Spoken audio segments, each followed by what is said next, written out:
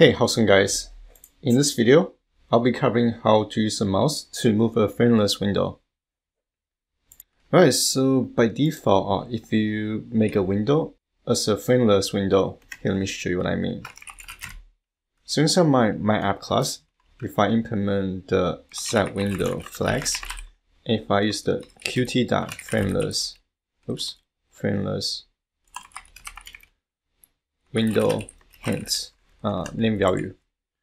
If I launch the window, noticing that the tab menu is now disappear. At this point, uh, there's no way for me to use my mouse or to use the keyboard to move the window. And here, let me close this window. If I come out this line and put it back, I now have the menu bars back. And I can uh, hold this uh, menu bar and move the window around.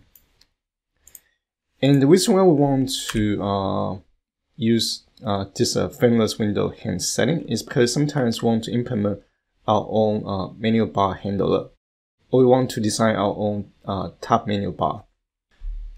And to be able to implement uh, the uh, feature or the function to be able to use our mouse to move a frameless window, we need to mainly handle two uh, built-in events.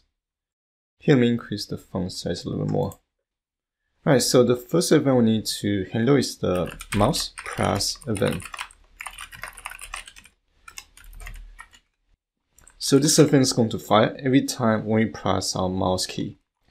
Once we press our mouse key, and if we attempt to uh, move an object, then the mouse move event is going to fire.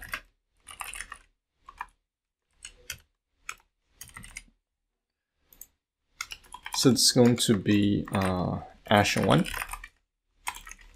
And it's going to be action number 2. Oops. Now going back to the mouse press event, we need to store the global position. Here I'm going to create an attribute called oPosition. And for event, I want to retrieve the global position and assign the position value to uh, this attribute. Now, once we perform the uh, object moving uh, animation or simulation, we need to import a QPoint class, and we're just coming from the Qt core module.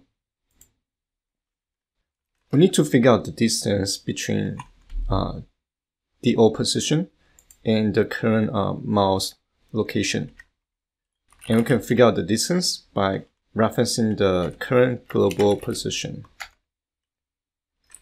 minus uh, the previous position. And let's name the output as delta. Now if I print the delta object,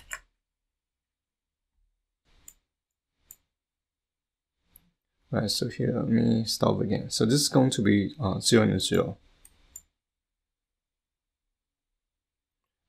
The last uh, mouse release position is always going to be where the window should be.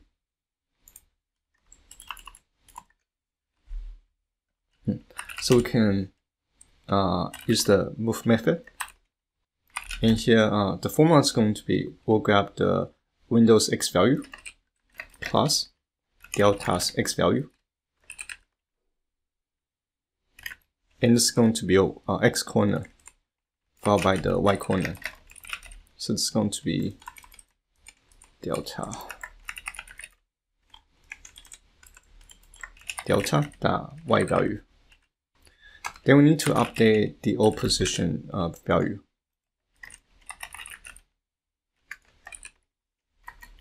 And that's it. Now if I launch the window, and if I hold my mouse key, I now can drag my frameless window around. Alright, so this is going to be everything I'm going to cover in this video, and hopefully you guys found this video useful. And as always, thank you guys for watching. I'll see you guys on the next video.